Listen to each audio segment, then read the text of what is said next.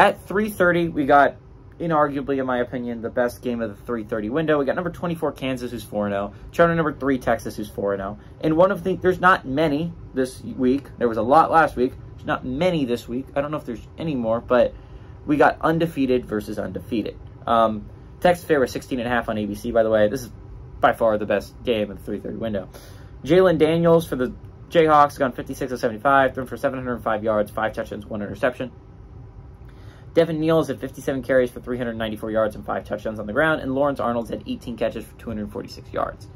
Quinn Ewers for the Longhorns has gotten 72 of 112, thrown for 1,033 yards, nine touchdowns and zero interceptions. Jonathan Brooks on the ground has had 65 carries for 379 yards and three touchdowns. And Ja'Tavion Sanders had 12 catches for 268 yards and a touchdown. Texas is 17 and 4 against Kansas all time. Last game went to what, Texas in 2022. But four of the last six games have been one possession football games. Um, some a lot of Kansas fans are going to remember the one from two years back where they beat Texas in overtime with the two point conversion. Um, both these teams are coming off impressive week fours, right? Texas played Baylor, and to be fair, it is Baylor. Um, Baylor's looking like arguably one of the worst teams in the Big 12 right now. But I thought Baylor had a shot in that one. Baylor had a shot at least holding them close, and Texas just blew them out of the water. It wasn't close. They didn't even let them stay in it for a little bit.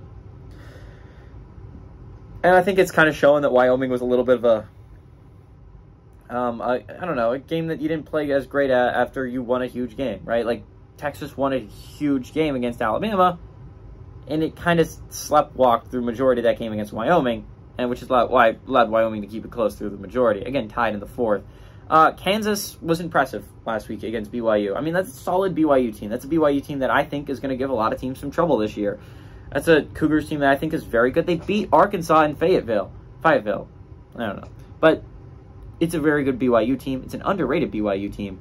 Um, and they beat them. And they didn't beat them just by a little. They, they controlled the majority of that second half. And I think a lot, of, a lot of that is like showing some grit, right? They, they were losing at halftime. I'm sure it was 17 14.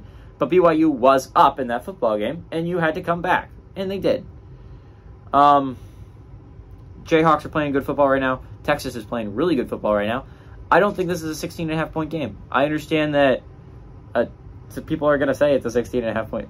I don't think it is. I like Texas to win. I think Quinn Ewers is playing some really good football right now, but I think Jalon Daniels is also playing some very good football right now. Give me Texas to win, but I think Kansas covers that spread.